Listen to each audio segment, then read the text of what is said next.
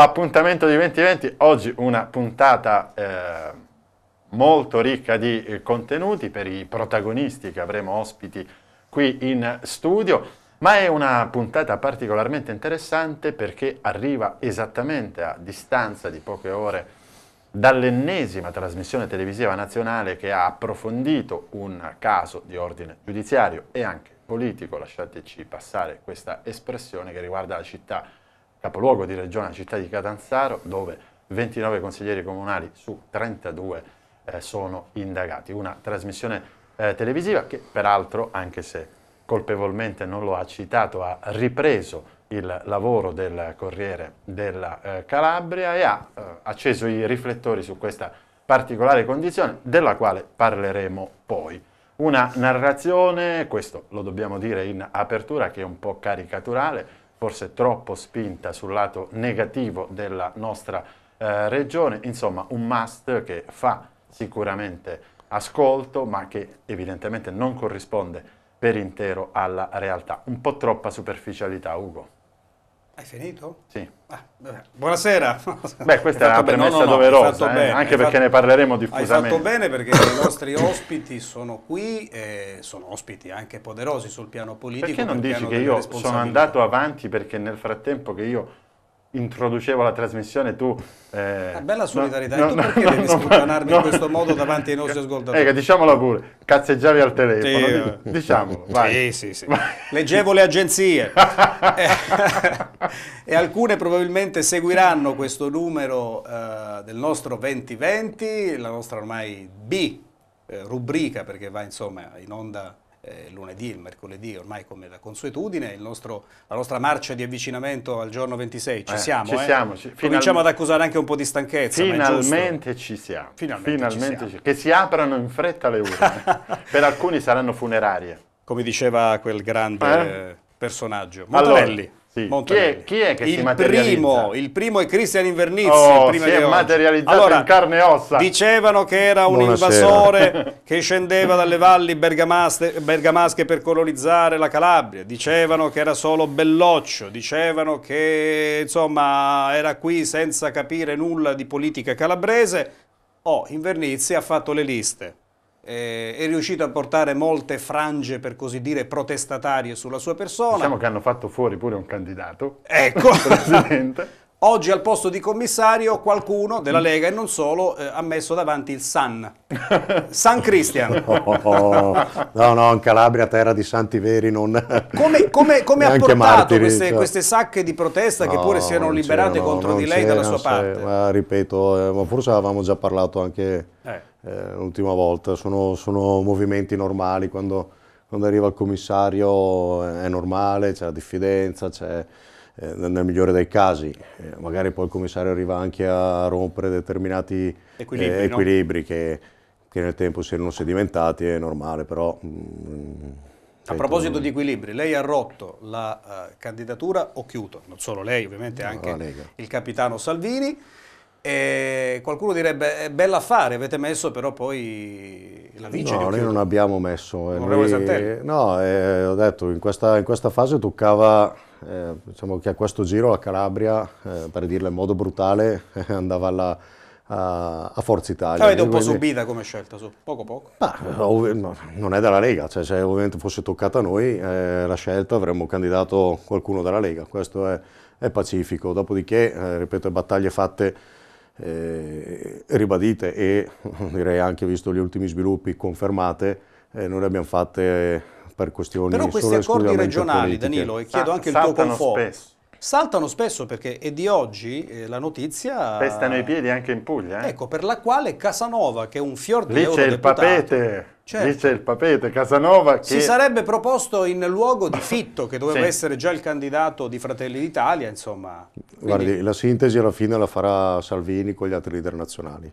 Quindi... Fratelli d'Italia questa volta però ha detto fatevi piacere Fitto, è stata categorica. È un silenzio eloquente. Anche questo silenzio è categorico, eh. dice moltissimo. Magari ci occuperemo anche di Puglia. No, ma perché dico alla fine la sintesi la fa Salvini, quindi, ah. quindi eh, Salvini non è il tipo che quando si siede al tavolo soprattutto sulla scorta dei numeri che può portare accetta il fatevelo andare bene. Quanta... Penso che l'abbia dimostrato anche qua in Calabria. Quanto infatti, ci ha messo di suo Salvini nella selezione o prima ancora nella scrematura dei nomi che poi ha portato alle formazioni elettorali della Lega, onorevole Invernizzi, al nord, al centro e al sud? l'ultima parola è sempre di, di, Matteo Salvini, che poi ovviamente eh, nella Lega funziona così, fortunatamente direi anche, perché ce n'è uno che fa, che fa sintesi, fa strategia. c'è stato un controllo diretto del segretario? Salvini controlla tutto, non so come faccia, anche perché se, se lo seguite come penso proprio facciate riconoscendo la vostra professionalità, eh, in giro dalle 7 di mattina all'una di notte praticamente. Però Vabbè, Salvini... poi qualche servizio segreto con Putin gli avrà dato qualche... no, no, no, non credo. Per la Calabria non credo. Tenderei ad escludere, non, non, c'è bisogno di arrivare fino in Russia per la Calabria. La Calabria è un paesotto, basta andare in piazza ca... e sai tutto di sì, diciamo... eh, basta andare anche su internet molte volte, per, eh, non c'è bisogno di andare in piazza. Un Google, basta un Google qualsiasi. Allora, tutto questo diciamo, tutta questa introduzione molto cortese, mo, molto cortese, molto cordiale nei confronti di Invernizia. Allora, la prima domanda, diciamo, seria e un po' urticante. Eh, poco fa in apertura ho narrato di questa trasmissione televisiva, poi le chiederò un giudizio anche su questo, eh, però il quadro che è emerso al, al netto di tutte le nostre opinioni personali, tanto sulla trasmissione quanto sulla performance dei eh, protagonisti, al netto di tutto questo eh, l'immagine che è emersa dalla città capoluogo di regione è un'immagine, e dell'amministrazione comunale, del consiglio comunale, è un'immagine poco edificante. Il quadro etico, come eh, dicevamo eh, l'altra volta. No? Però stiamo parlando della stessa città che Salvini ha definito un modello da esportare in Calabria.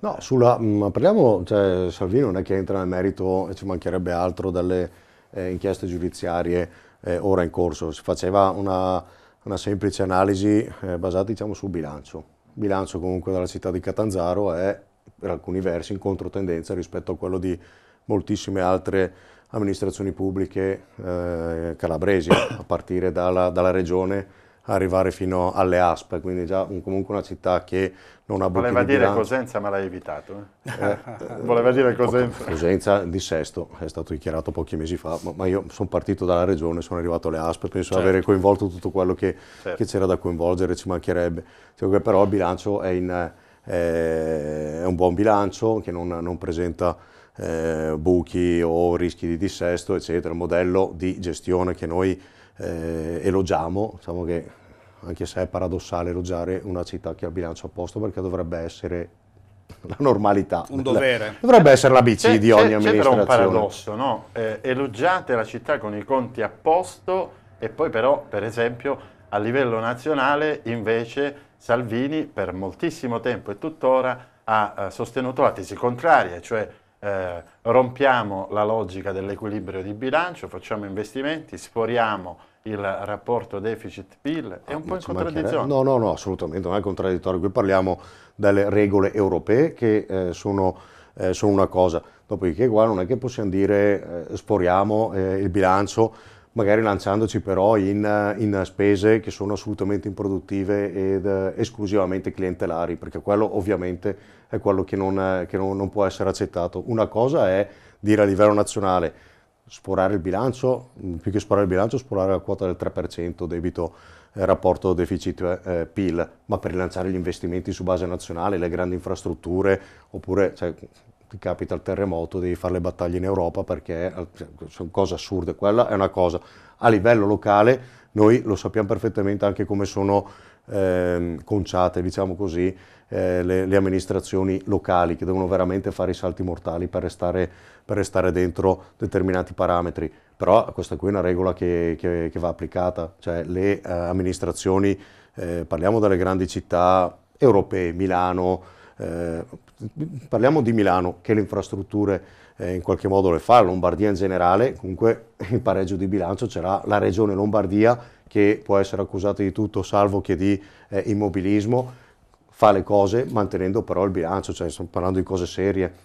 E quindi quando noi diciamo comunque il fatto che le città, anche qui in Calabria, debbono essere amministrate in modo eh, di, mh, tale da rispettare il bilancio, però significa al tempo stesso pulizia delle strade, eh, manutenzione delle, eh, delle, infrastrutture che sono, che sono ehm, date appunto alla gestione di questi enti, questo deve essere chiaro, però non è una cosa impossibile, lo fanno nel resto d'Italia. Il centrodestra del quale voi siete un cardine, una parte integrante, soprattutto qui in Calabria, Beh, eh, in passato a queste latitudini ha vinto e stravinto per eh, grandi percentuali. È stata una eccellente macchina da guerra, appunto eh, forte, poderosa, buona e brava a vincere, altrettanto buona e brava nella gestione del potere, ma con amministrazioni che non hanno lasciato segno nella storia. Cosa le fa credere nel caso in cui vinceste che questa volta potrebbe oltre alla gestione del potere esserci anche una buona amministrazione. Io sentivo parlare anche di un eventuale apporto metodologico della Lega, perché di, di, di consulenti, di continui scambi, chiamiamoli culturali, no, tra buone no, pratiche del prassi Veneto. Organizzative. Eh? Prassi organizzative. Farete no, dei ma, tutor nei dipartimenti? No, tutor, ma oddio, tutor, non, non c'è bisogno di eh. tutor. Io, Alcuni eh, dipartimenti lo meriterebbero. Ma, ma, per carità, eh. se c'è in giro gente che, che, che ha affrontato i problemi eh, che, che, oggi si affrontano in Calabria prima del tempo risolvendoli bene, io non vedo perché non dovremmo prendere quei, quegli esempi e applicarli anche in Calabria. Insomma, non è che si inventa quasi mai niente eh, in nulla, figurarsi anche nella pubblica amministrazione. Eh, perché delle cose devono cambiare? Perché a mio avviso è cambiato il mondo e tutti se lo devono ficcare bene in mente che la politica del 2020 non può essere la politica del 1990, del, dell'inizio 2000. È cambiato il mondo. Questo lei lo dice agli anziani di centrodestra, ai veterani? Eh, che... Io lo dico a tutti, ah. lo dico soprattutto a, a, coloro che dopo questi decenni di eh, amministrazione eh, fanno i figli e poi li mandano al resto del mondo. Certo.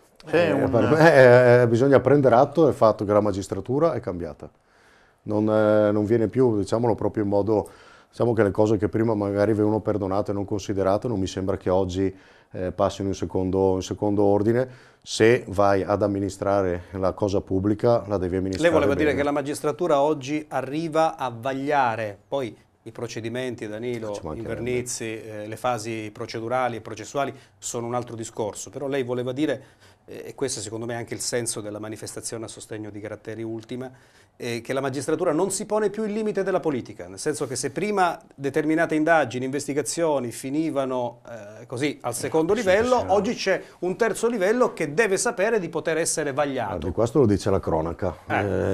nel 1990 era diversa la situazione, perché ognuno la risposta può dare. Eh, io infatti guardo con immensa pena, ma non soltanto in Calabria, in tutta Italia, per non dire in tutto il mondo, politici, parliamo di un caso che prendi la mazzetta, oggi ti beccano, giraci attorno quanto vuoi, ma con, con, i sistemi di comunicazione che ci sono, con i sistemi investigativi che, che ci sono ti beccano, per cui mi sembra veramente un concetto di, eh, di, una stupidità tale pensare di arrivare in determinate posizioni per farsi i propri affari, perché oggi fortunatamente e giustamente ti beccano, a partire quindi dai reati, ad arrivare, e, e concludo subito, alle risposte che i cittadini vogliono. Oggi i cittadini non si, non si accontentano più del fatto che il politico dica eh, c'è il problema, lo so, però è sempre andata così. No, oggi giustamente il cittadino ti vota ed esige che il voto abbia un risultato, in alcuni casi anche immediato. Per cui io eh, sono più che ottimista eh, per, eh, sempre che poi i calabresi decidano di dare la, eh, la fiducia alla coalizione centro-destra in particolar modo alla Lega su quello che c'è da fare non c'è tempo da perdere. Questo penso che i politici dotato di buon senso lo capiscono chiaramente. Io questa cosa non dovrei dirla davanti a un leghista, ma la devo dire, nel senso che è vero che forse c'è eh, un, stato un rilancio dell'attività di contrasto alla criminalità organizzata, ai sistemi di corruzione, eh, però ricordo a me stesso, ricordo a te Ugo e ai telespettatori che già eh, 4 più 5 più 5 circa 14 anni fa la Calabria aveva il consiglio regionale più indagato d'Italia durante l'amministrazione di Agazio Loiero e quindi già allora la magistratura. Il problema è che poi nel eh, successivo voto, prima i partiti nella selezione delle classi dirigenti e delle liste e poi anche, perché no, diciamolo, i cittadini nell'esercitare la propria scelta forse non hanno fatto tutti il loro dovere evitando di rivotare persone coinvolte. Questa è un'ottima affermazione, un'ottima osservazione che spesso noi omettiamo di focalizzare perché eh, è molto facile no? praticare lo sport del dare addosso a politici, a dirigenti, però poi dimentichiamo anche il comportamento dei cittadini. Certo. C'è un'etica anche nel voto. Allora, ehm, una domanda diciamo con una risposta secca. Il Consiglio Comunale di Catanzaro dovrebbe andare a casa? 29 no. indagati su 32? No, risposta secca e non posso darla, io dico, dico quello che oh, farei okay, io, certo. se sì. dovesse io mi dimetterei, poi ognuno eh, faccia quello che, che, ritiene opportuno fare. Eh, facendo anche comunque i 29 indagati sono indagati a vario titolo, ci sono alcuni che hanno delle, certo, delle eh, posizioni delle, delle insostenibili, certo, che certo. chiaramente sono altri che magari hanno una... Ecco, diciamo che se io fossi nella posizione insostenibile chiaramente mi dimetterei. Penso che sia, in quei casi sia necessario farlo. L'altra domanda, poco fa dicevo della selezione delle classi dirigenti. La Lega, ehm, ed è il giudizio che le chiedo, ehm, forse qualche scivolone nella composizione delle liste eh, l'ha fatta. Mi riferisco a due casi in particolare, il eh, caso del candidato alla circoscrizione nord, eh, il cui video dalla vasca da bagno con Sigaro e gruppo Revenge Porn ha fatto, ha fatto il, giro, il giro d'Italia, insomma una cosa non edificante e che, che, noi abbiamo rilanciato. E poi il caso segnalato che nonostante diciamo delle eh, risibili e a tratti ridicole smentite riconfermiamo il fatto che eh, sul palco a Crotone eh, con Salvini non ci fosse il candidato della Lega, ma il, scusi la risata, ma il fratello, il fratello gemello. No, permettete di dire innanzitutto il caso di, di Alfio Baffa, perché io per carità, eh, so che io contesto di, di quel video lì, eh, il nome dato al gruppo nel quale... Uh, No, beh, è una goliardata per Però è una goliardata, io sinceramente... Per, per, no, no, però il gruppo è, è, il nome del gruppo. No, il gruppo è brutto, ma infatti ho detto eh. anche lui, è ovviamente, no, poi per carità, magari le battute tra amici, ogni tanto anche tra i miei amici, io battu, farei battute anche peggiori, però obiettivamente quello che è brutto è il nome dato a, a quel gruppo lì perché si scherza su una questione comunque che ha causato obiettivamente dei drammi eh, di difficile soluzione, se non impossibile. Dopodiché è una eh, il video di un ragazzo che stava facendo una goliardata con i suoi amici. Mm. Non eh, stava sniffando, non stava stuprando, non stava bestemmiando, insomma stava, ha fatto un video condiviso magari con persone che lui riteneva amici ma che tali, che tali non sono. Attenzione a questi video tramite Whatsapp. Assolutamente. Però dico, se questo è quello che può essere imputato alla Lega, eh, cioè il fatto di aver candidato uno che qualche mese fa aveva fatto un video in cui stava scherzando con i suoi amici, oppure il discorso della, della sostituzione. là, là, della... Però onestamente... No, ma lì cioè sinceramente, cioè... ora lo dico sinceramente, pare che è impossibile distinguerli, sono uguali. Sì, cui, però... Quello è l'uovo di Colombo. Però cioè, due, è... due candidati con un nome. Eh, ma questo ha indotto anche delle piccole paure tra noi giornalisti. È l'invernizzi vero o è un sosia? Perché... No, io, io, non ho gemelli, a meno che io sappia. Quindi... È un po' più cazzuto rispetto all'altra volta che è venuta qui, insomma. No, eh.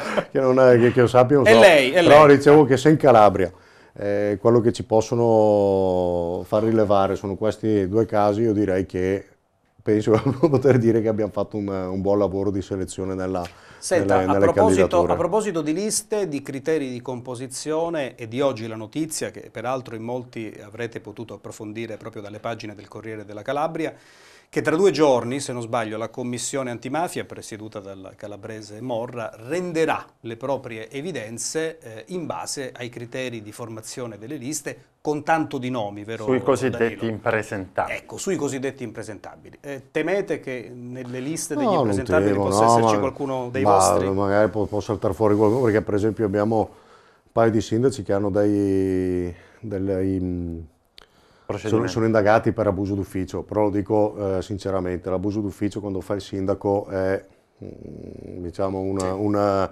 quasi una certezza. A parte che di, già di per sé il reato è, mo, è, fumoso. Esatto, esatto, quindi questo lo sappiamo, eccetera.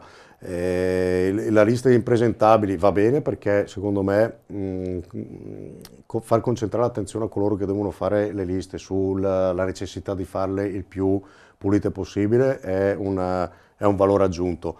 Eh, ricordiamo che però non è una, una magistratura che la ha Cassazione, su, ecco, diciamo, quindi cioè. Cioè, diciamo che si prende... Guardi, Invernizzi, le, le, le, do una mano nella risposta e lo faccio volentieri. Secondo me è anche assolutamente scorretto e fa, farle il 23. Sì, Se impresentabili sì. devono essere, devono essere il primo gennaio, due, tre giorni dopo, perché non penso che siamo in presenza di verifiche che abbiano richiesto eh. quattro settimane di approfondimento. E questa purtroppo è una cosa che è già qualche anno sì, che ci sì, si porta sì, dietro e eh, ripeto, eh, sul principio siamo tutti d'accordo, dopodiché il fatto, e questo io continuo a contestarlo, che comunque una commissione politica stabilisca se qualche politico può, Vabbè, sia o meno impresentabile, a me non è un concetto La Calabria segue il canone inverso, quindi chiunque pensi che una lista di impresentabili possa indebolire gli impresentabili si sbaglia perché forse li rafforza pure. È amara considerazione. Amara, una amara considerazione, io sono eh. convinto però, anche per quello che dicevo, secondo me la società... È, Qual qualcosina un po' sta cambiando. Secondo me la società sta cambiando. Che cosa si sono detti Salvini e Gratteri al di là delle dichiarazioni? Non lo so perché ovviamente eh, sono rimasti da soli, ci mancherebbe e ci mancherebbe altro. Un'offerta per un eventuale futuro governo ma di no, Ministro della Giustizia? Ma figurarsi, ma Salvini non va a incontrare Gratteri per offrire... No, no, no, no. non è questo, l'incontro con Gratteri era un incontro di, eh, di vicinanza, sostanzialmente di, di testimonianza che il, il lavoro di, di, questi pubblici ministeri. Io poi non è che perché uno è un pubblico ministero lo considero un dio in terra, ce ne sono alcuni che secondo me lavorano bene, altri che lavorano male, ci sono quelli bravi e quelli meno bravi nel caso specifico, ma è questo che dicevo quando inizio la trasmissione, parlavo del discorso che la magistratura sta cambiando, eh, ora ne, ne, hanno arrestati 350, saranno tutti colpevoli, non lo so, però il segnale comunque dato una, in una zona ad altissima densità eh, andranghetista come a Vibo da, dallo Stato, così secondo me ha degli effetti che possono essere anche duraturi. Abbiamo finito sì. il tempo a nostra disposizione, sì. però io... Eh, chiedo uh, scusa a Chiara, eh, ne approfitto per un'ultima eh, veloce domanda. Um, una delle accuse più forti che vengono mosse dal fronte di centrosinistra, in particolare da Callipo, è questa della colonizzazione e vengono citati due episodi, eh, il risultato delle elezioni umbre e la nomina dell'assessore alla sanità che proviene da un'altra regione e poi la dichiarazione di Salvini che ha detto in una delle sue recenti visite in Calabria eh, formeremo un pool coinvolgendo i governatori della Lega eh, per dare assistenza, insomma per accompagnare per mano la Calabria. I tutoraggi? Non è, non è, non è stata una cosa vista con tanto favore. Ma poi ho visto che Calipo anche mi cita spesso del bergamasco che viene a colonizzare. Se ai calabresi va bene continuare a fare figli, mandarli a studiare a Bergamo, poi questi qui si laureano, poi restano a fare i primari a Bergamo, o i dirigenti in Lombardia aumentano il PIL della Lombardia, a noi va bene, lo dico da bergamasco. La Lega è qui perché dice eh, il futuro deve essere dei calabresi, quindi gestito dai calabresi. Se c'è in giro, se ci sono in giro persone che sono straordinariamente abili nel loro lavoro, facciamo l'esempio dell'assessore sanitario del Veneto, che io penso chiunque, eh, se dovesse venire in Lombardia lo, accetteremo di buon grado, dov'è il problema? Stiamo parlando non di chi fa le cose, ma di come le cose devono essere se fatte. Se ci sono delle buone pratiche, perché non le possono essere pratiche vanno mostrate? prese ed applicate, soprattutto... Ok, Vernizzi, leader della lista, io resto nella Bergamasca. Insomma... Mo mi verrebbe la battuta, abbiamo esaurito, a, abbiamo esaurito l'intervista col bergamotto. eh, eh Bergamo. Perché quindi, il bergamotto è buono. Eh? Eh, poi è tipico della Calabria. Quindi... Va bene. Allora, grazie a Cristian Invernizzi, buoni ultimi giorni di campagna elettorale. Grazie. Ci rivediamo dopo Tra il risultato. poco, grazie noi, secondo blocco.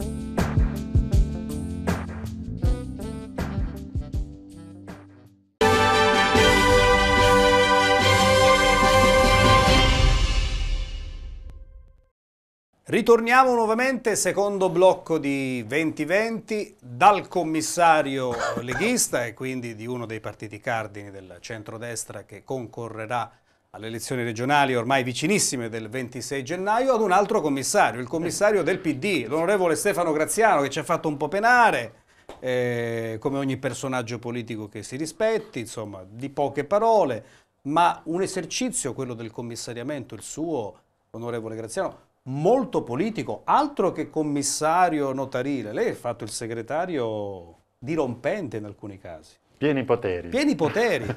Come chiamavano Alcibiade, autocrator. Permettetemi questa divagazione. Innanzitutto grazie per avermi invitato. Io sono uno che, come avete visto in questo anno, non, non mi piace fare molte apparizioni, mi piace più fare fatti concreti, diciamo, rendere diciamo... E ne ha fatti qualcuno. appunto, quindi eh, l'idea era proprio questa, in realtà cambiare tutto.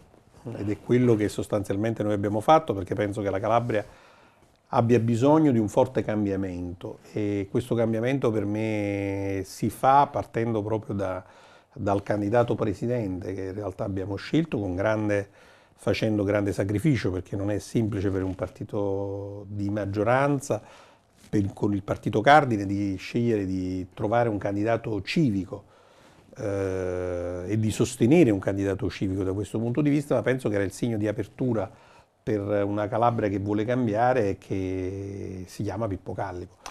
La mh, considerazione che molti fanno e ce la siamo fatti anche, anche noi, nelle scorse edizioni. Il eh, PD, non c'è dubbio, questo è un dato oggettivo, poi al di là della campagna elettorale, un dato oggettivo, ha, ehm, tra virgolette, utilizzato questa occasione per un cambio di passo anche con riferimento alle candidature, ai probabili consiglieri. Alla rottura degli schemi. Alla rottura degli schemi, insomma, quindi questo è sicuramente un passo coraggioso. Ovviamente questo passo ha un prezzo perché rimangono fuori bacini eh, di voti legati a determinate persone.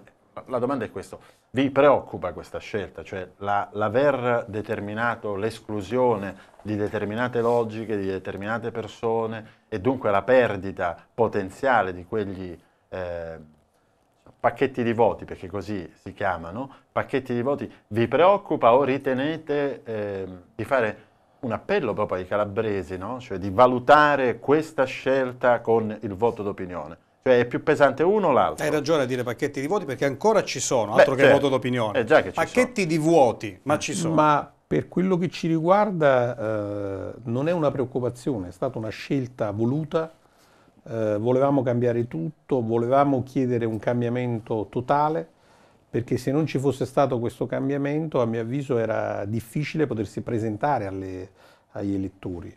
E lo abbiamo fatto consapevoli, la, la, il, io come commissario regionale, ma anche il segretario nazionale Zingaretti, sostenendo appieno questa tesi insieme con Nicola Oddati, abbiamo fatto un lavoro di scelta eh, vera e propria, perché eh, a mio avviso pesa molto di più cambiare in positivo che tenere eh, probabilmente quei pacchetti di voti o quelle eh, un investimento lei dice. Esatto è un vero investimento sul futuro della prima, prima parlavamo un attimino così a, a, microfoni spenti facevamo questo ragionamento con, con, Danilo. Ma guarda tu che fortuna politica Stefano Graziano. Se vince Ora non Callipo, esagererei. no, diciamo. se vince Callipo vince Callipo la scommessa vinta insomma tra tante difficoltà dopo un percorso accidentato per arrivare a questa candidatura unitaria. Se non dovesse vincere, comunque si trova un PD, quindi un'area di centrosinistra che dopo almeno un trentennio è abbastanza rinnovata, perlomeno nei quadri. Cioè, come va, va lei? Win-win, come si dice. Proprio mandato lei win, win, Però eh, il tema di fondo è che in realtà questa è stata una scelta. Eh. Una scelta faticosa, dolorosa, perché non è semplice fare questa scelta qui. Quando lei dice ha eh, utilizzato il commissariamento in modo autocratico, eh sì. sostanzialmente non è stata una scelta il commissariamento. Io non, non, ho scelto di venire a fare il commissario, mi sono trovato, Ma forse se la è stato chiesto, pure. ecco Però è chiaro che se davanti al partito totalmente in crisi, eh, in una situazione diciamo abbastanza frastagliata, o tu innesti la marcia del cambiamento oppure rischi di morire. E Graziano, due domandine che poi sono molto eh, intrecciate tra di loro.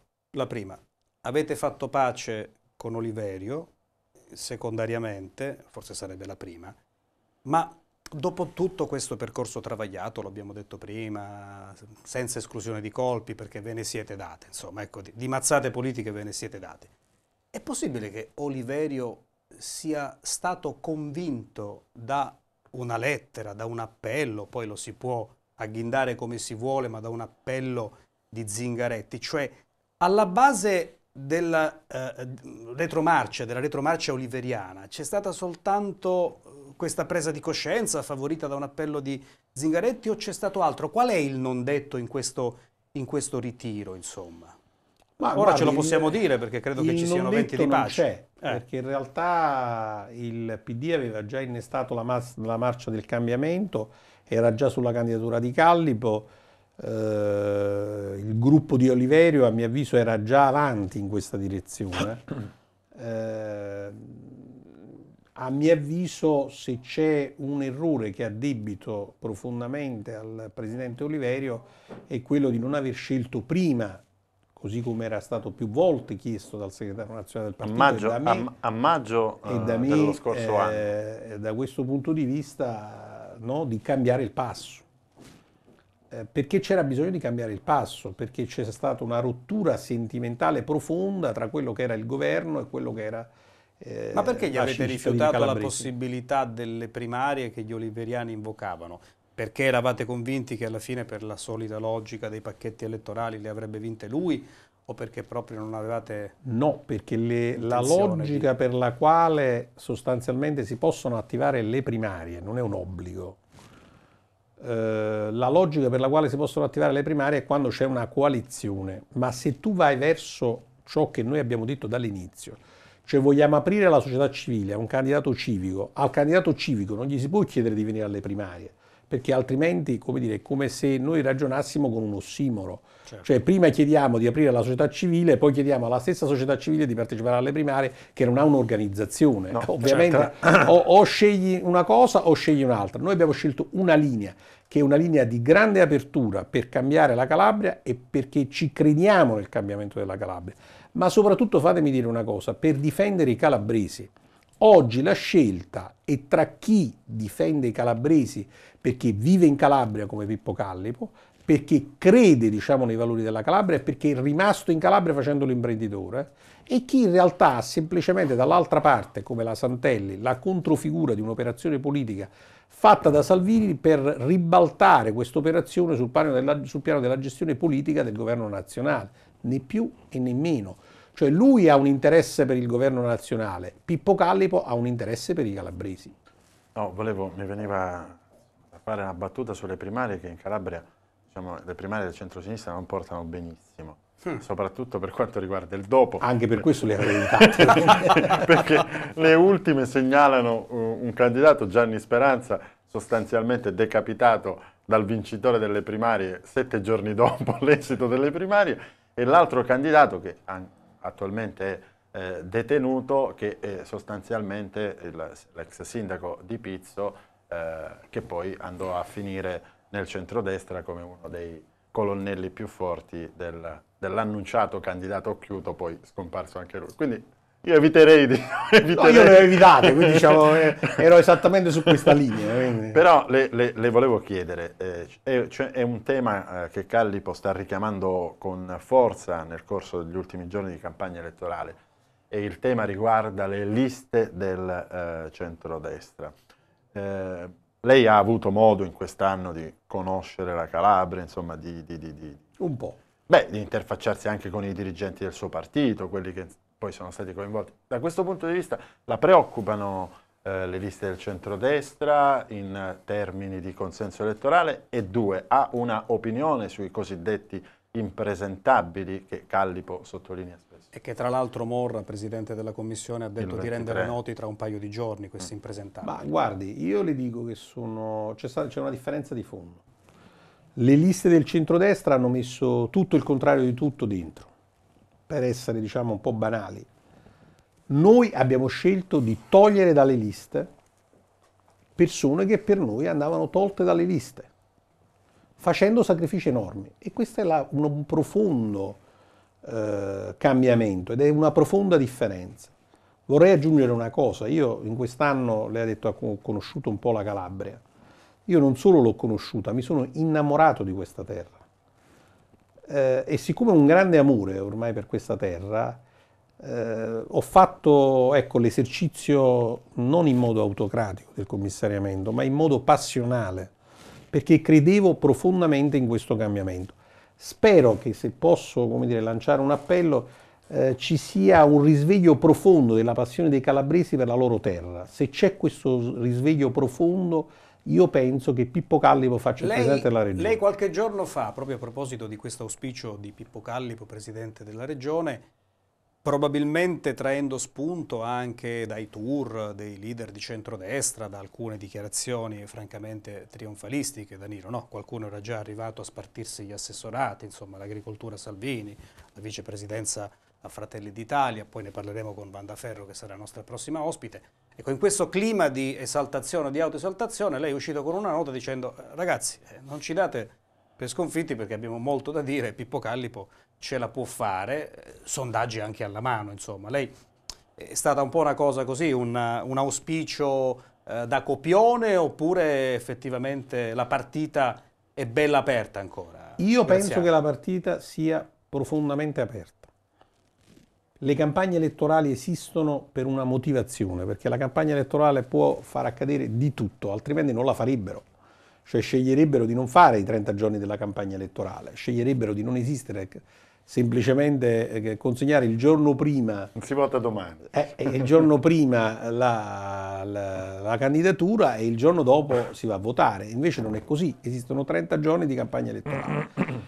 Io penso che c'è un risveglio profondo dei calabresi e il mio appello è soprattutto a coloro i quali non vanno a votare, di andare a votare, perché oggi c'è una grande astensione e se c'è un pezzo di elettorato che va a votare, lo sa che va a votare per difendere la Calabria per difendere i calabresi e sanno perfettamente che l'unica figura che può difendere i calabresi perché è un uomo libero, perché lo ha dimostrato come imprenditore, lo ha dimostrato come persona, come la, sua storia, è Pippo Callipo, non c'è un altro nome, perché dall'altra parte è la scelta, diciamoci la verità, oggi la scelta è tra Callipo e la Santelli.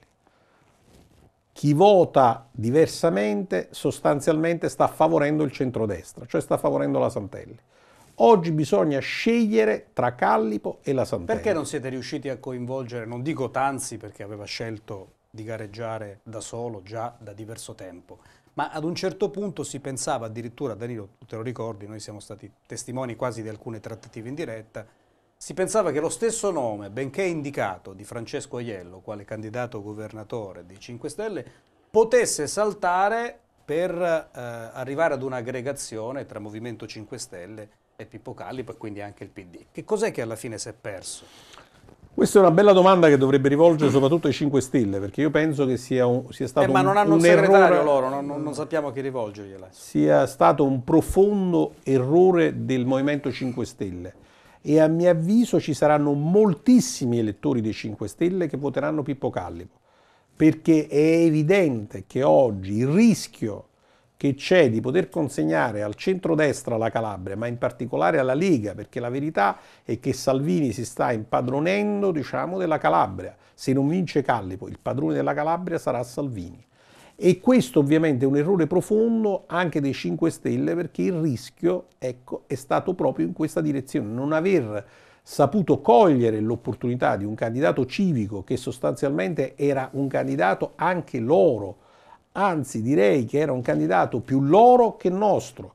Però noi abbiamo fatto una scelta di, eh, come dire, di, di tentare di andare col, col cuore oltre l'ostacolo, di lanciarci con il cuore oltre l'ostacolo e loro invece si sono tenuti sulla conservazione della posizione semplicemente di bandierina. Ecco, questo è, è, è, un momento in cui non si gioca con le bandierine, questo è il momento che si gioca con il futuro dei calabresi e io penso che ci vogliono atti di coraggio come quelli che abbiamo fatto noi e non come quelli che hanno fatto loro. Le bandierine no. di fede, eh, te le ricordi? Eh, esatto. no. no. ma poi tra le altre cose c'è anche questo eh, singolare e schizofrenico approccio perché per esempio il ministro Di Maio qui alla Mezza Terma con una certa veemenza eh, ha chiesto il sostegno per eh, cacciare, cacciare via la sinistra dal governo della regione. Se si considera che sostanzialmente il ministro con i voti di fiducia della sinistra di cui parlava, insomma,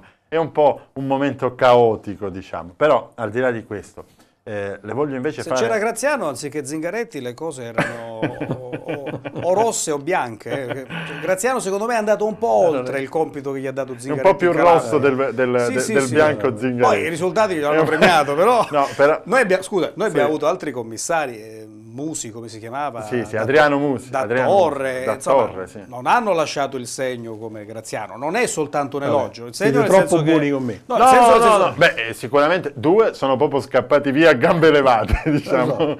Quindi voglio dire, vabbè, ma al di là di questo, le, le, le, voglio fare invece una domanda contenutistica, perché è ovvio che ehm, sono delle elezioni regionali per cui si decide il destino di una regione. Vale in Calabria il ragionamento come vale in Emilia Romagna. Probabilmente all'Emilia Romagna per una serie di ragioni evidenti a tutti viene assegnato un significato politico che ha o potrebbe avere un riverbero nazionale. Eh, testimonianza ne è il movimento spontaneo delle, delle sardine e il loro significato politico. Però non c'è dubbio che anche nei territori regionali conta e molto il peso delle scelte nazionali, l'attività del governo. Ecco, da questo punto di vista il governo si appresta a mettere in campo una serie di eh, strumenti, alcuni dei quali hanno eh, degli effetti immediati e diretti anche per i cittadini calabresi. Il dato dell'IRPEF. Ecco, da questo punto di vista eh, c'è poco tempo forse per veicolare questa scelta. Ma, eh, io penso che sia un dato molto importante perché qui in Calabria abbiamo 78.000 calabresi eh, che sostanzialmente riceveranno il taglio del cuneo fiscale per l'IRPEF eh, e quindi avranno più soldi concretamente in busta paga e questa è un'azione del governo di centrosinistra che eh, hanno fatto e che porta diciamo, a chi è un lavoratore eh, dipendente circa 100 euro in più in busta e quindi per noi è un dato molto importante, non sono banalità perché spesso tutti raccontano, no? dice ah ma 100 euro che cosa saranno? Ma 100 euro per chi prende 1200, 1300 euro sono una cifra blu, non è che sono pochi perché ci sono persone che in realtà con quei soldi fanno vivere una famiglia che, a cui bisogna dare tanto rispetto perché poi se si moltiplicano per 12 figli, insomma, no? certo, eh, eh, certo. diventa diciamo, un elemento fondamentale della vita delle persone. Eh, questo significa stare attenti alle parti più deboli, alle fasce più deboli della società, non alle fasce più forti della società.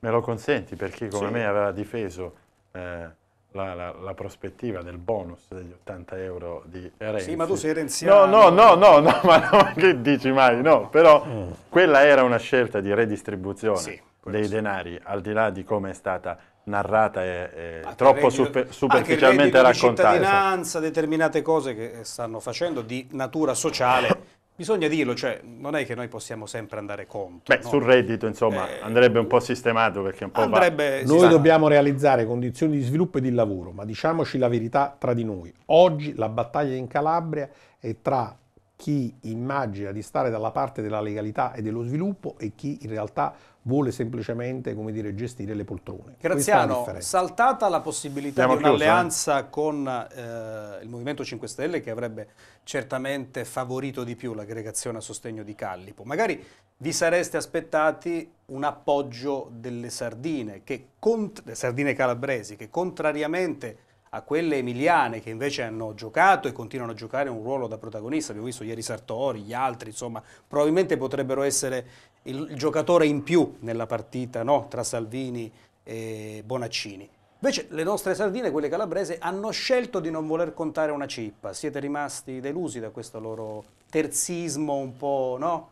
No, io sono sostenitore della tesi che la speranza è l'ultima a morire. Eh. Penso che giochi invece a favore il tempo e l'atteggiamento che ha il centrodestra in questa regione nella convinzione che abbia già vinto... Non sarà che le sardine sarà... calabresi non sappiano fare gruppo come invece accade in Emilia Romagna, cioè gruppo a sostegno. No? Questo è un tema un po' più largo, direi, eh. che è un tema proprio della Calabria. Sì. Di una rete a maglie larghe. Che, che, non abbiamo il tempo però sì. di approfondire perché Però abbiamo... ti piaceva, ho, mi, ho scorto mi, mi da È un tema bellissimo, lo approfondirò comunque alla prossima intervista sì, sì, dove, dove, ragioneremo di Te l'avevo detto, basta che gli fai due complimenti e poi torna pure alla prossima puntata, perché finora si è fatto pregare questo signore, no? no, no, no aveva a, a, sua, a, sua, a, sua, discolpa aveva ben altre cose a cui pensare. Qualche affaruccio politico da sistemare. Grazie a Stefano grazie Graziano a voi, per essere stato qui con noi. Buona campagna elettorale per i giorni che rimangono. A tra poco.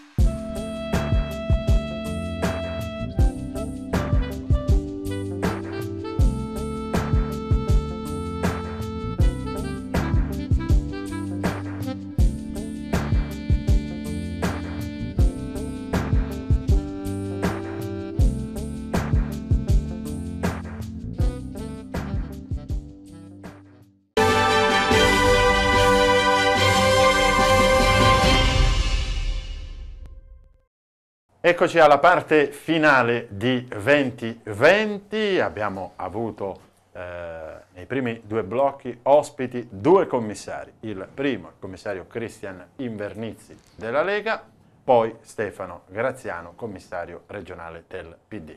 Dunque, accento bergamasco, accento campano, finalmente accento calabrese, un altro commissario ma calabrese. Stati poco galanti perché abbiamo una signora... Uh bella, garbata e piena di contenuti, abbiamo, le abbiamo riservato l'ultimo blocco, ma certo. vi assicuriamo che sarà il migliore. Paraculata. Questo proprio... Si dice, si dice. Proprio Buonasera Wanda. Senza... Buonasera, grazie dell'invito. Sempre Benvenuta. essere con voi. Bene, bene. Beh, allora, tanti auguri, avete, avete, già vinto le elezioni, insomma, vedo che siete già alle spartizioni degli assessori. C'è troppo trionfalismo in questo centrodestra, Ferro, ma lei li ha richiamati i suoi, ragazzi? Calmatevi un attimo. Io parto sempre dal presupposto che ogni elezione è un'elezione a sé, che certamente il vento è a favore, ma che bisogna attendere insomma, quello che sarà lo scrutinio e quello che verrà fuori dai seggi e soprattutto anche per comprendere poi al di là della vittoria quale sarà il, il livello di governabilità in base agli eletti e in base insomma. Considerando che gli accordi delle regioni, lo abbiamo visto anche con l'autoproposizione del leghista Casanova in luogo di Fitto no? per la presidenza della regione Puglia che doveva essere vostra, sì. ecco, considerando che questi accordi non sono poi così tanto cementati, e non ha un po' il rimpianto che Fratelli d'Italia avrebbe potuto osare di più, no? Non dico fare una forzatura, ma osare di più perché lei era un nome già pronto, aveva portato la croce cinque anni fa, quando tutte le condizioni non erano proprio favorevoli. E non, non c'era nessun Cireneo in giro. Nessuno, ecco. E, tra l'altro un centrodestra che poi abbastanza ha dato segni di ostilità nei confronti di Mandaferro, ma questa è un'altra storia.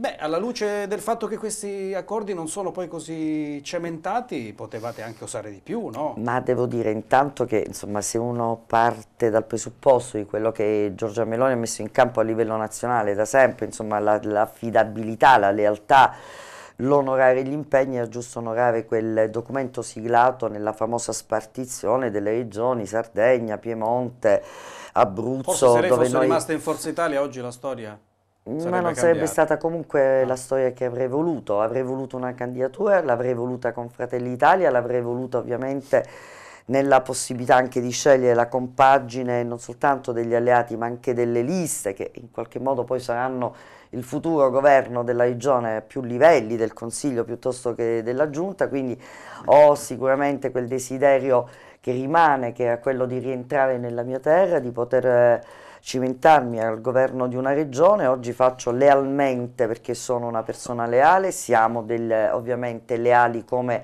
eh, schieramento, ma lo siamo ancora di più Cosa come pensa alleati. di Pippo Callipo? Penso intanto che sia una bravissima persona sul piano umano, sul piano personale, un ottimo imprenditore. Ho già precisato e voi grazie alla disponibilità, agli spazi che regalate date alla politica, ho detto che non fu una scelta politica quello di affiancarmi nelle elezioni regionali eh, perché in quanto candidata del centro-destra, perché aveva ritenuto che fossi stato un buon amministratore, che avessi messo in piedi delle liste che in qualche modo meritavano attenzione e soprattutto insomma, una buona immagine per la Calabria. Oggi faccio un in bocca al lupo, ritengo ovviamente che eh, in qualche modo anche nel caso di Callipo avrei fatto delle scelte differenti, anche quelle di non nascondere quel PD di Oliverio che in qualche modo è stato rinnegato ma che oggi è un compagno di viaggio sicuramente, un alleato che viene tenuto dietro le quinte ma che esiste, quindi una scelta di campo nel dire Oliverio accanto a me o altrimenti... È ancora Presidente della Regione, eh? Certo. a scadenza. Ehm... Come lo yogurt. no, no, questo per, per, per legge. Ehm, stiamo alle parole di Vandaferro. Ha detto due cose interessanti. Il primo, avrei desiderato essere la candidata presidente. Sì, sì. E lo disse qui anche un'altra sì. volta. Eh? E il fa. secondo passaggio che ha lasciato forse cadere, ma lo abbiamo colto, avrei non solo tenuto cura ed attenzione alla coalizione, ma avrei tenuto cura ed attenzione alle liste. Eh, Fratelli d'Italia ha fatto delle Pesantuccia scelte. questa, eh? Ci, ci, apriamo il giornale dopo. Fratelli d'Italia ha fatto delle scelte eh, particolari. Tutti sanno, questo, eh, la scoperta dell'acqua calda, che eh, c'era una fila abbastanza nutrita di eh, personaggi, alcuni provenienti anche dal centro-sinistra, personaggi di peso, con bacini elettorali, almeno nelle elezioni passate, consistenti, che volevano essere candidati in Fratelli d'Italia. Così non è stato, intanto perché questa scelta e soprattutto poi però questi sono candidati in altre liste del centrodestra. Ma intanto perché ribadisco che deve essere quella posizione che se uno tiene a un tavolo nazionale poi deve tenere nelle varie regioni. Se io chiedo il patto antinciucio agli alleati di governo, quindi a Berlusconi, a Salvini, soprattutto per chi come noi non ha mai governato con nessuno che ha combattuto in campagna elettorale politicamente, poi lo deve fare in qualche modo rispetto a persone che hanno avuto nel PD un ruolo certamente importante che non significa un giudizio sulla persona ma un giudizio politico che non possa mettere nelle condizioni qualcuno di dire a un tavolo si parla un linguaggio, ad un altro questo è venuto troppo spesso a livello regionale, no? Io ricordo i governatori che parlavano di deleghe che funzionano alle province comuni come Oliverio quando era presidente della provincia, poi è diventato governatore e ha tenuto tutto in quota a se stesso, un uomo solo al comando e soprattutto quando io dico avrei guardato la lista, avrei guardato la lista nel senso che credo che nel momento eh, di maggiore vento a favore si possa fare una cernita rispetto anche a tante espressioni che non devono essere la società civile politica, ma che poi alla fine possono ridare anche fiducia.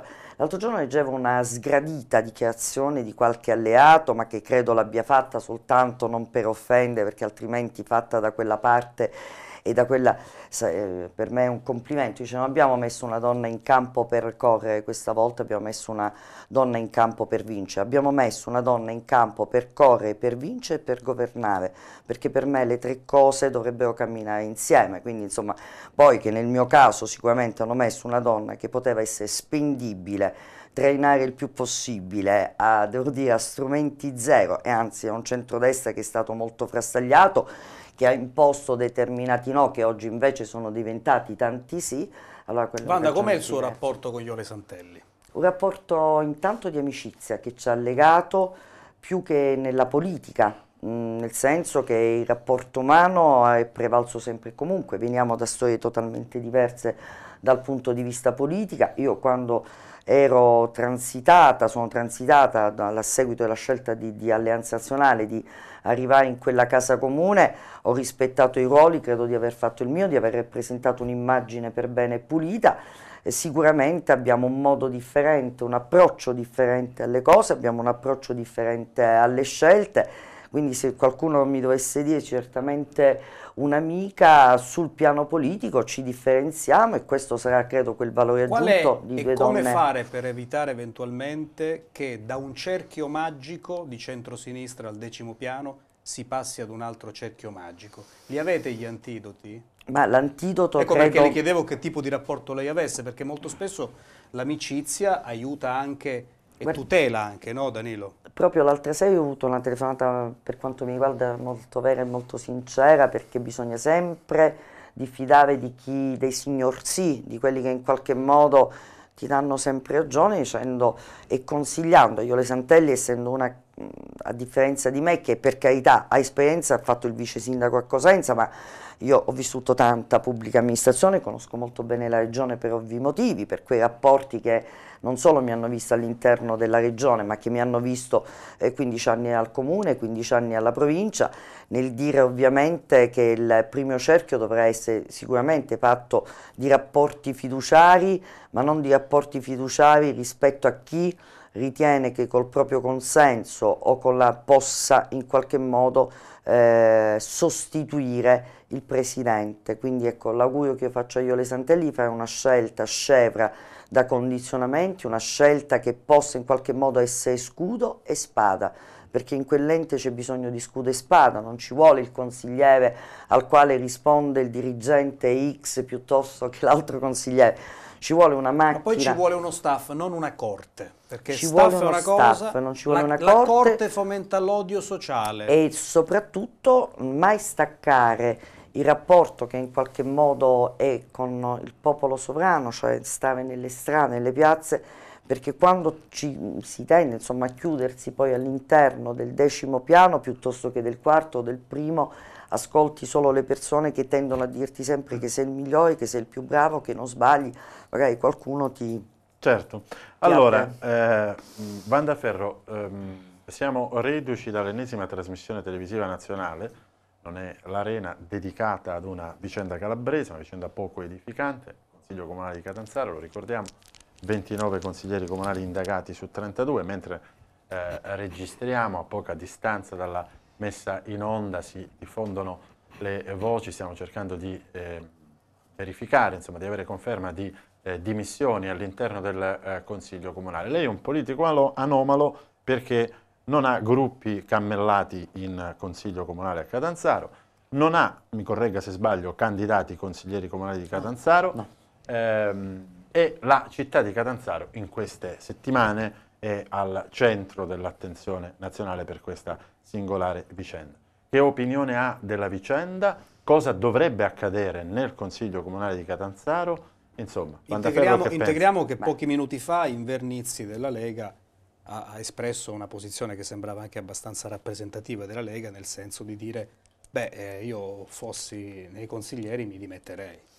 Io parto dal presupposto intanto che non è una pagina bella per la città, che non è una pagina in qualche modo eh, che rende giustizia, parto dal presupposto quando dico giustizia mi riferisco all'idea di una classe politica che poi non deve essere in qualche modo di tutte le erbe un fascio dove c'è un presidente Marco Polimeni che ha ovviamente difeso eh, quello che sono le sue prerogative da Presidente del Consiglio e quindi anche in base alla, al TUEL e quindi anche in base a quell'organo di controllo eventuale o di vigilanza rispetto alle commissioni. E io non so se sia giusto dimettersi o non dimettersi, credo che sia giusto che la magistratura faccia il suo corso, che se ci sono responsabilità vadano accertate e soprattutto poi lascio al singolo, secondo me, soprattutto in un momento in cui la gente rispetto alla politica è molto sfiduciata alla scelta di cosa fare. Nelle ultime ore si parla di una minoranza che sta scegliendo di dimettersi, parto dal presupposto che chissà se ha fatto bene o fatto male, non c'è bisogno del consiglio del politico di turno se rimanere là o andare via da là ognuno di noi sa quali sono le azioni che compie, ognuno di noi sa quante sono le presenze, ognuno di noi sa... Io parto dal presupposto che la politica ha bisogno di credibilità, che ha bisogno per carità non di giustizialismo, ma che ha bisogno certamente eh, di quel detto che diceva la politica non si fa con la morale ma non si fa neanche senza. Eh, so che la incalzo sul tema e non è un tema semplicissimo. Eh, Salvini ha indicato Catanzaro come un modello. Ah, è un modello per alcuni versi, nel senso che comunque rispetto a tante altre città calabresi, devo dire, eh, è una città che anche per la sua popolazione esprime insomma una, una, città degli uffici, una città impiegatizia, una città dove devo dire non ci sono grandi problemi dal punto di vista anche della criminalità, dove c'è una cultura della pubblica amministrazione che credo sia stata espressa in tanti uomini di varie parti politiche che non può essere buttata a mare. Quindi da questo punto di vista ritengo che la città di Catanzaro, che non è una persona, che non è un politico, che è una cosa un po' più ampia, possa certamente... Si è sentita infastidita dal fatto che egli abbia in un certo senso eh, lodato no? il modello Abramo, tutto da verificare, senza fare eh, riferimenti ad altri modelli amministrativi, o meno così si è parlato, parlo eh, degli esecutivi a guida traversa, alla provincia a guida proprio Vandaferro. Eh? Si è sentita no, un po' sfottuta? sentita toccata e spiego il perché, perché alla fine insomma io ho fatto 15 anni sempre da eletta nelle varie amministrazioni Abramo, insomma dal 97 in poi credo di essere stato un assessore alla cultura che ha lasciato sicuramente un'impronta non soltanto nella città, nella provincia, ma credo anche a livello regionale. Eh, nello stesso tempo sono, siamo stati ottimi amministratori alla, alla provincia, chi lega il parco della biodiversità probabilmente ovviamente Salvini ha tirato un po' di più l'acqua al proprio mulino, ma anche perché magari non ha avuto la possibilità di conoscere e di apprendere quelle che sono insomma delle scuole politiche o degli amministratori che hanno avuto la capacità comunque di segnare il passo con ma la buona la, la, uh, il giudizio di Abramo eh, si inquadra in una operazione di salvinizzazione dell'amministrazione, della giunta e dello stesso sindaco, il giudizio di Salvini su Abramo, secondo, ah, secondo lei? C'è un processo politico in corso di cui noi ancora non, non sappiamo? Io questo non lo so, certamente l'idea che anche insomma, la lista di eh, Salvini in qualche modo sia composta da persone, devo dire, vicino al sindaco, eh, probabilmente non è l'idea di mh, regalare la città a Salvini, ma comunque magari di una scelta di campo differente che probabilmente al Bramo sta o ha maturato e che probabilmente vedrà una futura Lega magari anche presente in Consiglio La vicepresidenza della giunta regionale? C'è già una opzione? Que, que, questo dicono i rumors. Ah. Ma io leggevo l'altro giorno che un po', insomma, la Lega, scherzavo adesso nel corridoio con il collega Invernizzi, parlava dell'assessorato all'agricoltura piuttosto. Sì. Io credo che la gente interessa intanto uh, i nomi, eh e capire chi ricoprirà determinati ruoli rispetto Avete ai nomi. Avete stabilito se il criterio di composizione della giunta sarà politico o tecnico? Glielo dico perché il suo amico Pippo Calli poi in una convention giorni fa ha dichiarato che qualora sarà lui il presidente della giunta regionale i suoi assessori fuori saranno partiti, tutti tecnici. Io posso senza ombra di dubbio dichiarare che non c'è stata nessuna riunione sul dopo uh, 26 di gennaio. Però questi sarebbero criteri da chiarire. Parto no? dal presupposto però che in coerenza con quello che dissi all'epoca di Oliverio, uh, dove io addirittura proposi al centrodestra, ma non fu sposato anche se io ero fuori dal consiglio regionale, ricordo a me stessa, un referendum consultivo per poter chiedere ai cittadini se per loro andava bene la modifica dello statuto che poteva vedere sette esterni e quindi sette tecnici. Io dico che ci sono delle competenze esterne importanti ma che la politica vada premiata, che la politica non può essere qualcosa che uno utilizza e getta nello stesso tempo perché sarebbe in qualche modo contraddire quell'idea di politica che ho, del resto mi pare che i tanti tecnici, salvo qualcuno, che sono stati al governo con Mario Oliverio non abbiano prodotto questi grandi benefici. Una cosa insomma è stare dietro una cattedra, una cosa poi stare tra la gente, una cosa e comprende i, i, tecnicismi e i tempi certo. della pubblica amministrazione. Battuta, qualche tecnico ci ha preso gusto ed è diventato un collega deputato di, di Vandaferro, mi riferisco al professore Visconti. Salutiamo il professore Visconti. Ma salutiamo. Le, le, le, volevo chiedere... Dopo questa battuta non verrà più, però no, no, no, no, ha una, no, una forma di humor Visconti sì, sì, Appunto, appunto. Eh, c'è ormai una diffusa consapevolezza che eh, diciamo, la presenza di Salvini in Calabria, che tornerà a sì. brevissimo per la terza barra quarta volta eh, in Calabria con giri che hanno dai 6 ai 7 appuntamenti eh, ogni giorno. È diffusa la consapevolezza che eh, la Lega stia quasi tarando la sua campagna elettorale eh, su Fratelli d'Italia, perché c'è evidentemente una, una rincorsa. C'è evidentemente una rincorsa, una competizione che, diciamo così, eh, legittima, però sembra che il tentativo mh, nascosto a fatica sia quello di oscurare le performance di Fratelli d'Italia, la presenza di Giorgia Meloni qui in, in Calabria. Insomma, eh, la speranza è che la finiate il 26 perché sennò poi dopo... Nel rispetto che ho nei confronti ovviamente dell'alleato e quindi eh, del, del, premier, del, del, segretario Salvini, intanto voglio ricordare a Salvini perché mi, mi ha creato un audio, l'ho rilasciato alla stampa l'altro giorno, dice sono l'unico segretario che scende in Calabria rispondendo a Giorgetti che dice la Calabria non ne può fregare di meno a nessuno.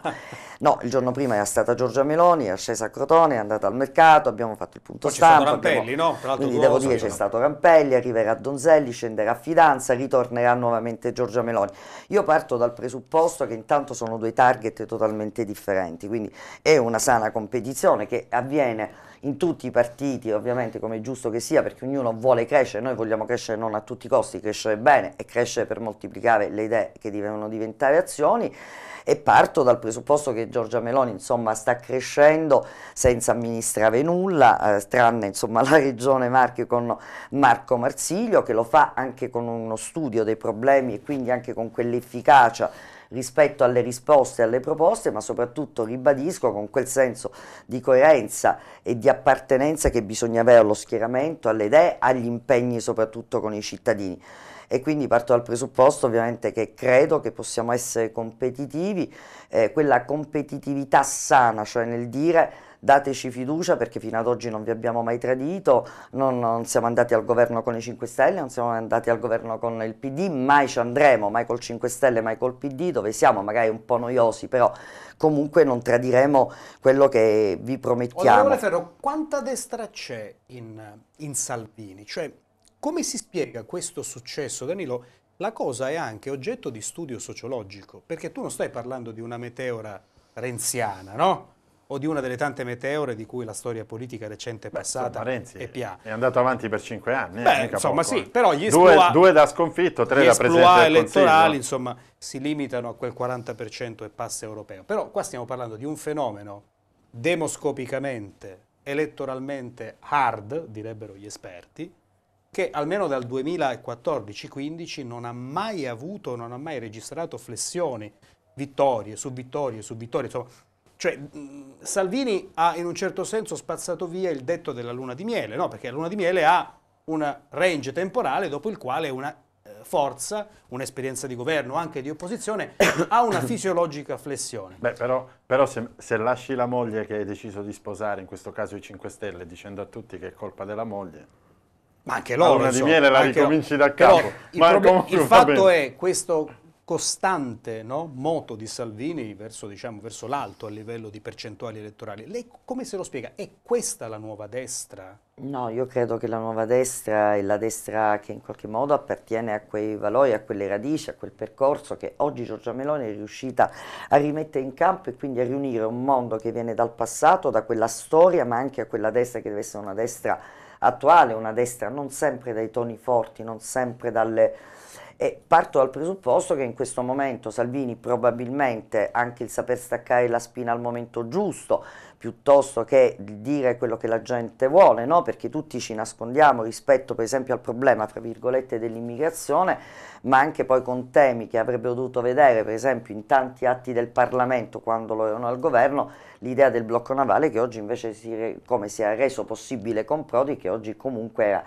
Allora io parto dal presupposto che ci sarà certamente una fetta di destra che guarda quei toni forti, per noi i toni devono essere forti nella sostanza, ma devono essere giusti perché comunque questo è un momento molto delicato del panorama eh, nazionale e soprattutto un, un momento in cui ovviamente io sono convinta questo centro-sinistra barra centro-sinistra non durerà molto a livello di governo. Io credo che la destra sia non soltanto di chi l'ha fondata, di chi viene da quella storia da sempre, quindi si è nutrita di quel, ma anche di chi in qualche modo fa scelte quotidiane e giornaliere nel dire per esempio che votiamo di no sul reddito di cittadinanza perché non lo condividiamo, perché vorremmo che quei soldi fossero dati alle aziende, perché le aziende dovrebbero assumere di più per non far pagare ovviamente dei, delle tasse ulteriori, quindi eh, sollevare le aziende che sono ed evitare magari quel reddito di cittadinanza che non mi sa di un'azione di destra, mi sa di un'azione di sinistra, ma che la Lega purtroppo all'epoca ha votato. Allora, abbiamo finito il tempo a nostra disposizione, faccio solo una piccola eh, postilla rispetto alla domanda di Ugo e alla risposta di Vandaferro, dicendo che sostanzialmente però le carriere politiche vengono stroncate da due fondamentali elementi. Il primo, che in Italia è ripetuto, è un elemento di tipo giudiziario, eh? cioè un'inchiesta che travolge un leader o comunque lo azzoppa. Il secondo è il dato economico, perché oggi noi siamo reduci da, da alcune esperienze di governo, compresa, anzi soprattutto quella che ha visto protagonista Salvini, dove di fatto i grandi temi economici di questo Paese non sono stati affrontati, salvo che con due provvedimenti manifesto e di spesa quota 100 e reddito di cittadinanza. Il vero problema italiano, che è quello di rimettere i conti in sesto e di fare lavoro, ancora non lo ha affrontato nessuno, ivi compreso eh, Salvini. Quindi vedremo alla prova dell'economia se i cittadini daranno fiducia al candidato Premier Salvini, se questa parabola ascendente, anzi se questa proprio cavalcata... Io invece sono convinta che forse è arrivato un paese pronto ad avere un Premier donna, un eh, Premier come. Giorgia Meloni, sono convinta che la magistratura Avevo per la quale abbiamo Meloni, grande rispetto, quindi anche se non usciamo con uh, il cartello in piazza, però de, di fatto insomma siamo sempre da quella parte, da chi comunque ovviamente fa il proprio dovere, lo fa tra tanti sacrifici, però subentra quando c'è una politica debole, quando c'è una politica corruttibile, quando c'è una politica non in grado. E ovviamente, insomma, cosa dire, io sono convinta che Fratelli d'Italia avrà eh, il riscontro perché farà le scelte più sane e più forti dalla politica economica alla politica estera, dal problema della famiglia piuttosto che ai temi del sociale. Eh, no, è anche vero che con queste percentuali lavoro, togliere lo scettro a Salvini... È un appello però lo voglio fare, questa volta voglio sfruttare questa telecamera. Via perché abbiamo, siamo proprio fuori Magari poi, poi dovrete tagliare, però io dico no, che ho ricevuto sui social un mare, ma un mare, un mare di affetto da parte della gente che sperava in qualche modo in questa mia corsa.